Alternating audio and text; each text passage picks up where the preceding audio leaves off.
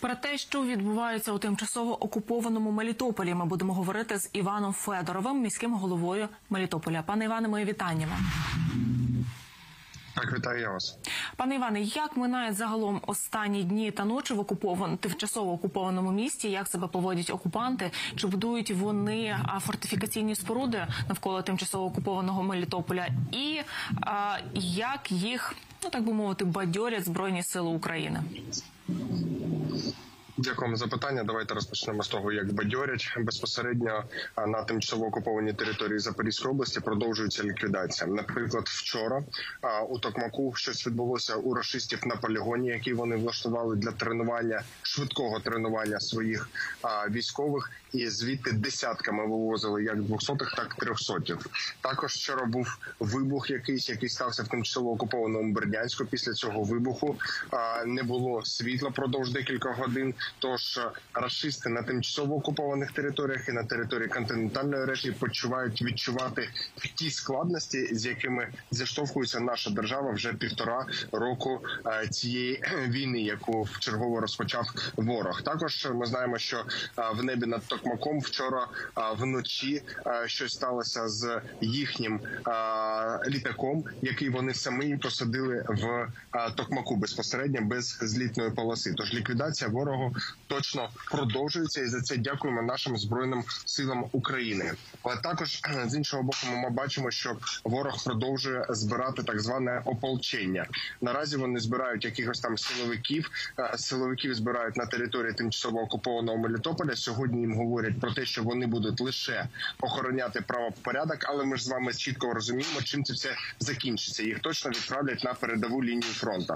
Як доказ цього е, на цьому тижні почали вони збирати приватні охоронні компанії. Що є цікавим, спочатку вони говорять, що ці приватні охоронні компанії будуть, начебто, охороняти якісь там стратегічні підприємства. Але одразу в підписанні контракту вони говорять про те, що якщо вони будуть поранені, то вони отримують 3 мільйони рублів. А якщо щось з ними трапиться, то родини отримують 5 мільйонів рублів. Тож ми розуміємо, які окопи на передовій вони будуть охороняти.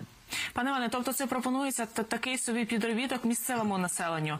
Це корелюється з інформацією центру національного спротиву про те, що зараз росіяни на тимчасово окупованій території Мелітополя посилили мобілізаційні заходи. Точно вони посилили мобілізаційні заходи. Сьогодні ми бачимо, що йде примусова верифікація мобілізованих. Що це означає?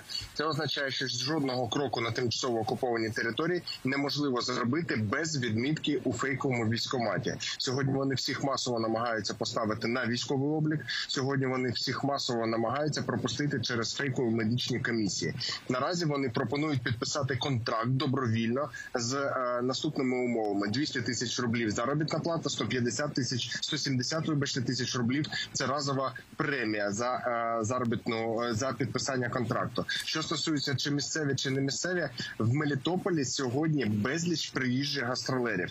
Їх більше ніж цивільного населення, яке залишилось в окупації. Наприклад, вони продовжують привозити як різноробочих, різнопрацюючих для якихось там фейкових будівництв, так і, наприклад, для е, керівництва їхнім слідчим комітетом в окупаційній владі. Вони привезли керівника із Сахаліну. Тож вони продовжують завозити масово людей. Як ви висловилися, пане Іване, щодо російських окупаційних гастролерів, у тому ж центрі національного спротиву повідомляють, що наразі росіяни не можуть а, дати ладу окупаційним адміністраціям на території Мелітополю. Поясніть, що відбувається. Відбувається наступне: відбувається безкінечна ротація. Ми знаємо декілька населених пунктів, де за останні півтора року було змінено щонайменше п'ять керівників. Що цікаво, останніх керівників вони привозять з континентальної РФі. На прикладі давайте розберемо селище Веселе. Вони привезли бившого колишнього нац е, їхнього розгвардійця, якого поставили очолювати селище Веселе. Він е, через місяць вийшов з критикою, що не може в такій бюрократії існувати, і сам розкритикував свою ж владу і його знову зняли. Вже поставили п'ятого керівника. А також одна з керівниць гауляйтерша Уменець, яка раніше керувала Кирилівською селищною радою. Сьогодні вже сидить в полоні, і її не випускають за розкрадання бюджетних коштів Ерефії. Тож вони вже самих зрадників почали заганяти та садити у в'язницю, і саме тому не можуть знайти чергових, тож завозять чергових з Ерефії. Пане Іване, як загалом триває от життя в окупації? Якщо говорити про навчальні заклади, про лікарні, хто ці люди, хто там працює? Це місцеве населення, яким немає куди виїжджати, чи вони там з їхніх причин не виїздять, або вони завозять а, а, своїх якихось росіян. Дякую вам за запитання. Звичайно ж, здебільшого завозять. То сьогодні дефіцит навіть за ворожими даними на тимчасово окупованій території це тисячі освітян і тисячі е, співробітників лікарняних закладів.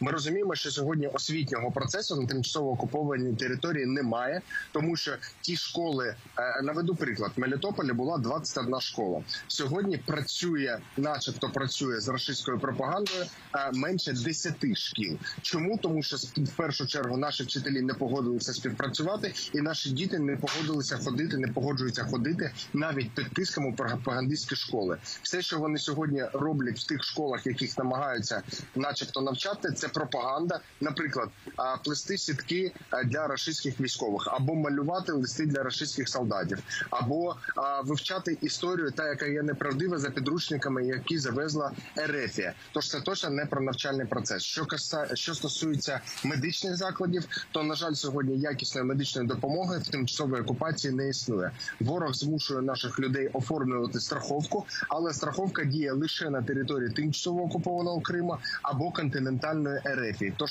наші медичні заклади переповнені, але вони не можуть надати медичну допомогу, тому що медичний персонал виїхав, медикаменти не завезли.